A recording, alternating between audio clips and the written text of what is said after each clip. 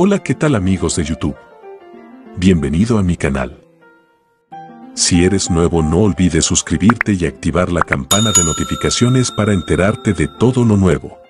Comenzamos con el video.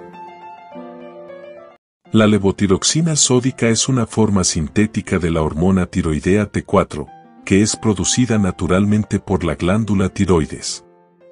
La levotiroxina sódica se utiliza para tratar el hipotiroidismo, una afección en la que la glándula tiroides no produce suficiente hormona tiroidea.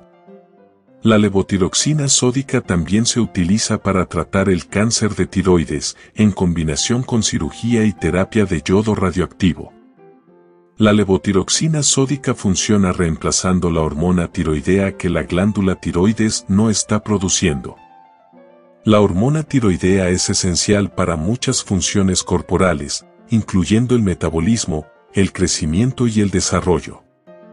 Los efectos secundarios de la levotiroxina sódica son generalmente leves y pueden incluir náuseas, vómito, diarrea, dolor de cabeza, insomnio, palpitaciones cardíacas y agitación.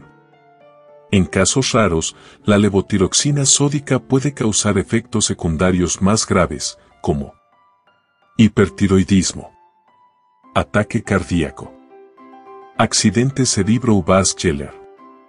La levotiroxina sódica es un medicamento seguro y eficaz cuando se toma según las indicaciones.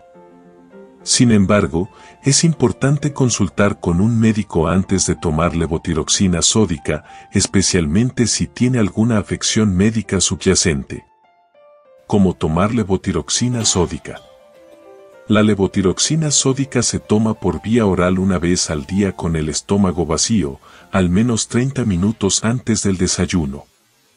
Es importante tomar la levotiroxina sódica a la misma hora todos los días para mantener un nivel constante de hormona tiroidea en el cuerpo. La dosis de levotiroxina sódica se determina en función de la gravedad del hipotiroidismo.